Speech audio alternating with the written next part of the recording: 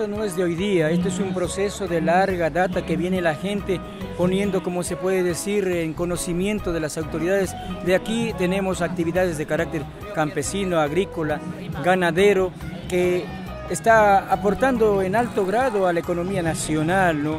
Y que hemos visto que estas actividades son las que realmente nos permiten y tiene la gente hecho una valoración que lo que está haciendo es mayor a lo que se dice que se va a hacer. La inversión que tienen los pueblos aquí es mayor a lo que las empresas proponen que van a poner acá. Necesitamos las cosas naturales, cosas naturales. Queremos agua limpia, queremos todo. Las frutas mismas, lo menos las frutas, queremos las frutas que produzca sin funigar porque funigando todas esas cosas que ya si viene ya contaminado ya no es factible, ya, ya, no, ya no se puede vivir.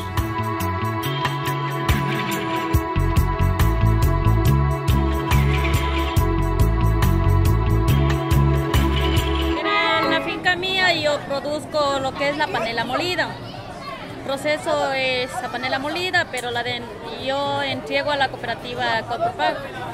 Es, esa panela es de exportación. Sí lo traje, pero ya se me acabó, ¿no? Procesamos eso, tenemos ganado, así los productos, el resto. O sea, es bastante laborioso. Y lo más es el campo. Entonces nosotros, pues aquí en esta zona que es muy rica, es un potencial en la agricultura, eh, nosotros eh, siempre la caña ha sido orgánicamente cultivada y procesada. Entonces nosotros eh, decidimos formar una asociación y, empezar a, vender nuestro producto tanto al mercado nacional como al extranjero. En el extranjero pues le valora mucho a, lo que es orgánico y ha tenido una gran acogida y tenemos un buen mercado en base a lo que es orgánico y eso nos, a nosotros nos ha, ha representado pues un, buen ingreso económico.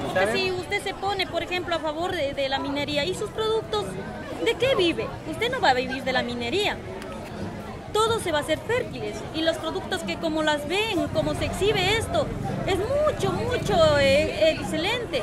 Y con la minería que se nos acabe, ¿qué comimos después? No es cosa que se cuenta con piedras, eso no vamos a vivir. No, y nosotros no estamos de acuerdo como agricultores y como nativos de aquí, no estamos de acuerdo para esas cosas, nunca, y no lo podremos ser siempre nosotros somos negados a eso de la minería. No podemos estar apoyándoles a ellos, no. La gente está, como dice, poniendo el hombro, poniendo el talento, caminando, andando, haciendo, hablando, ¿no? Así está la gente haciendo todo este proceso y lo está haciendo de manera abierta, de manera pública, ¿no? Ha hecho la gente un censo, ¿no?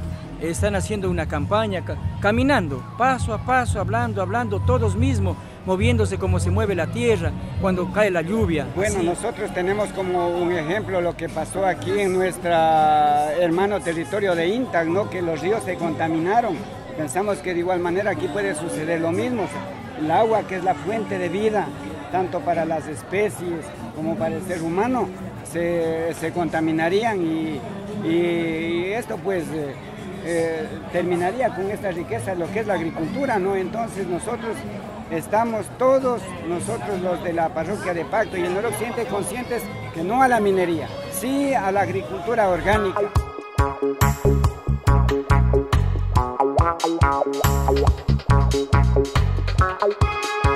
El agua limpia, tal como estamos viviendo, estamos viviendo en un paraíso, pero y que nos vengan a, hacer todas esas cosas que están haciendo no sería tan agradable.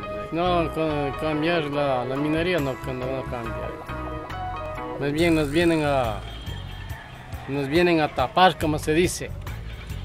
Nosotros no queremos eso.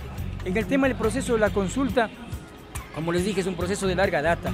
La gente ha venido en ese proceso de, de resistencia, sí, ha sido la palabra, pero ahora es un proceso de reexistencia.